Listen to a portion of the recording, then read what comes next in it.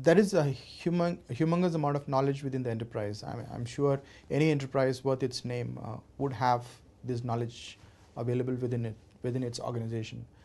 But actually extracting this knowledge and making, making use of it within the organization for the, uh, for, for, for achieving the organization's goals is a, is a very important task and it's a difficult task. Now, we have, we have a knowledge management system within TCS where we, uh, we, we do everything uh, which, which a normal knowledge ma management group would do. But when I took up this function, uh, I found that there was a huge amount of knowledge which was existing within the company, but that was not getting translated into our learning programs. Now, the only way we could do that was, uh, we were doing that at that point in time was, uh, if we found somebody is very good in a particular technology or a skill area or a, or a knowledge area, we would ask this person to conduct some sessions in a classroom. So the person would become a faculty and you know deliver some lectures and he would possibly train a few hundreds and then that's it he would move on with his assignment. Now this to me was not the full use of that person's skill or knowledge because we have, we have trained about 10 people or about 100 odd people but then they may have a chance to use that knowledge they may not have a chance to use that knowledge. Now that's where uh, I was looking for a rapid development tool which could quickly quickly uh, allow the, the subject matter expert to also create a e-learning course uh, which can train not hundreds but thousands of people because with e-learning you just get scale straight away you get scale. That was one, one issue. The second issue was we also embarked on an LMS journey. We had bought in a, bought in a new LMS and we wanted to put most of our training content on the LMS. So this was also another thing. So that's the time where uh, you know I got uh, exposed to Dialogue. Uh, Dialogue I am told is actually a tool for conducting virtual classes, virtual meeting and stuff like that. And the Dialogue design was basically designed to edit these sessions. That was the purpose of the tool. But then when we when I discussed with the uh, uh the uh, consultant from uh, Skillsoft, we thought why not use it for a different purpose? Why not use it for for creating content with help of the SMEs? Why not get the SMEs to directly create content?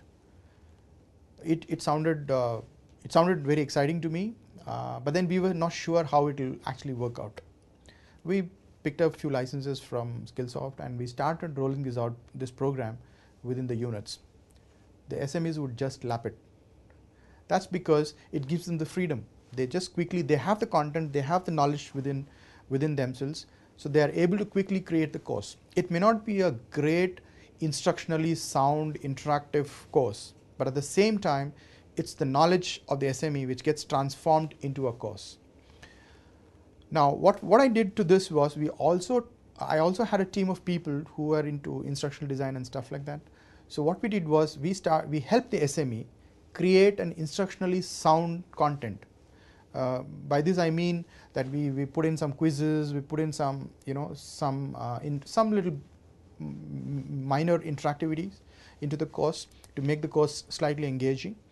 And then uh, we allowed the SME to create the course. Okay, so then the SME would go and actually create this course and publish it as a SCORM compliant course and it would just come and sit on our LMS. So this has been a huge hit.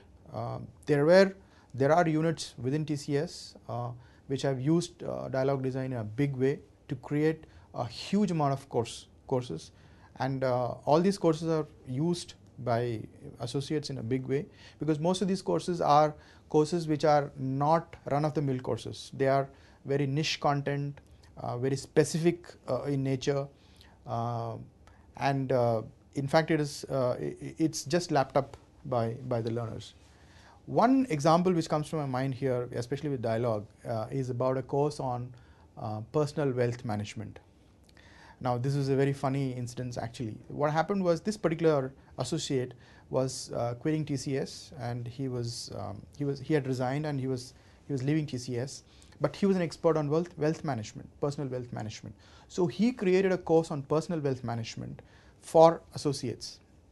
And I still remember him uh, writing an email to me saying that uh, he, thanked Learning and Development for giving him this opportunity to kind of, uh, you know, immortalize himself within TCS. So even, even though he doesn't work for TCS, but his, his course, his knowledge still remains within TCS. I mean, I think that was the moment where we felt that yes, we are doing something for people. This has been a big hit. Uh, we are using it in a, in a big way and we create courses. We, we do it in two ways. One is to create courses which go straight. Sometimes we use it also as a precursor for creating a full-fledged interactive WBT later on. So it uses it's it's it's base content which comes to our our team, instructional designers and visual designers. Then they go ahead and actually design a course out of it.